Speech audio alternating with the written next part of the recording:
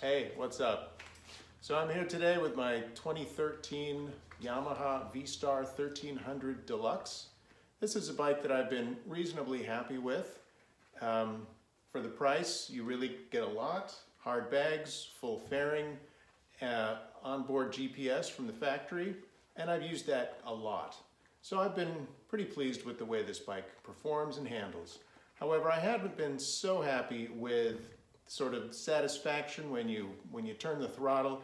It doesn't have quite enough mm, sort of oomph factor, so I've been looking for ways to give it a little more. I'm not looking for a huge, I mean, I don't expect a huge improvement. I mean, it's never gonna be a 1600 or an 1800 engine. So, you know, I'm realistic.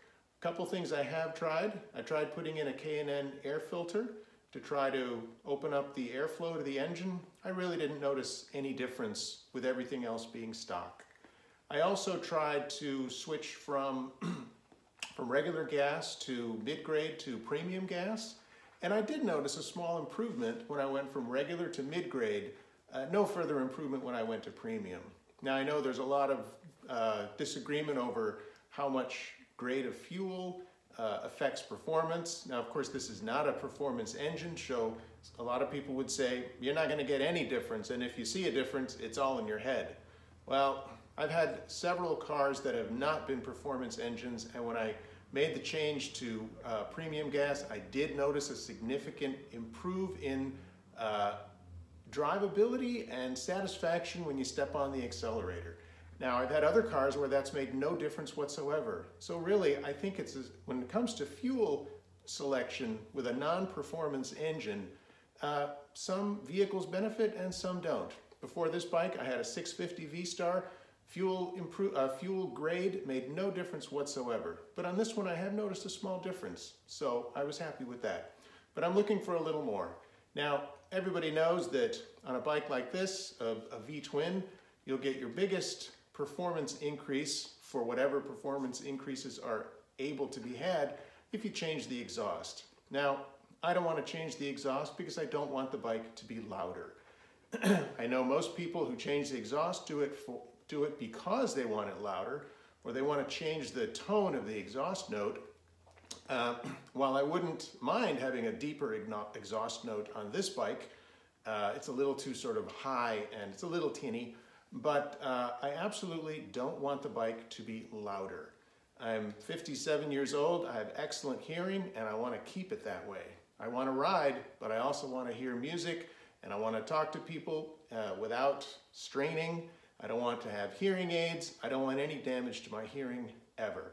So I want the bike as quiet as possible. If I could make this bike as quiet as a Goldwing, I would do that.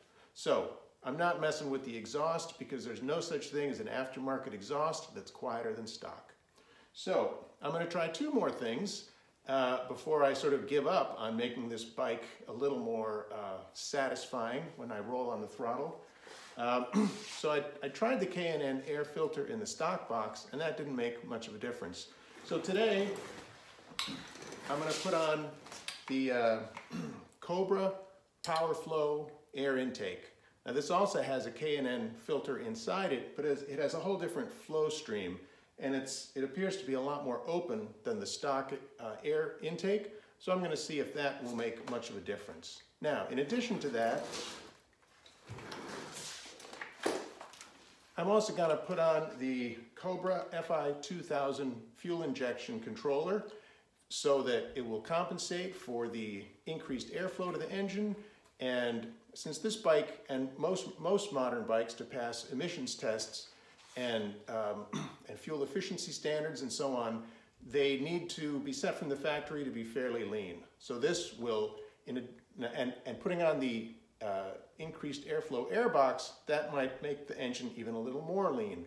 So I'm gonna compensate for that by putting on this FI 2000 controller to optimize that air fuel mixture and see what happens.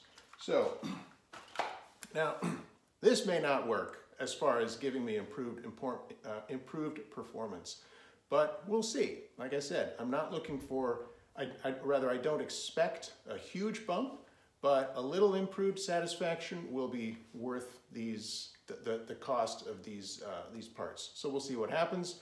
So I'm gonna put them on, take it for a test drive, and let you know whether or not I notice much difference. All right, let's get to it. Okay, so I got those parts installed and took the bike on a lengthy test ride, well over 100 miles, and I was under different conditions, uphills, downhills, country roads, freeways, all speeds up to about, about 80 miles an hour. And the verdict is, this modification, or these two modifications, did make a noticeable improvement in the power of the bike. What I mainly noticed was that for the same speed that I was at prior to the modification, I could now be in a lower gear. So previously, where I was reaching that uh, third to fourth shift point and fourth to fifth, I could now make that shift point at a higher speed. So for the same speed, the modification has allowed the engine to run at lower revs, so I can shift at a higher speed. And this does give me more power. So the bike is more satisfying to ride, and I think the modification was, was effective. So the question now is, was it worth it? So this is January of 2021. The two modifications, the Cobra PowrFlo air intake and the Cobra FI 2000 fuel injection controller. Uh, I looked around on the internet and the best price I got was about $600 for the two parts. Installation wasn't difficult. It took about, uh, took three or four hours. There are other videos uh, on YouTube about how to do that, so I didn't include all those details because it would have been too long. But I guess the question is, uh, compared to how it was before, is it good enough, or is it improved enough afterwards to be worth it? And before, the bike was, you know, it was fine. But I'm not riding the bike to just be fine. I want it to be fun. And for me, I was at the point with this bike where, yeah, I was thinking of trading it for something a little more, a little more powerful, a little more responsive, just a little more, just a little more. And I think this modification has made it so that I can enjoy this bike a, a while longer and, you know, save my 15 or 20 grand for another year.